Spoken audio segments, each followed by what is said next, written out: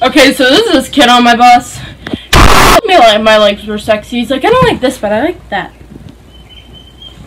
You must get a kick out of the leg section.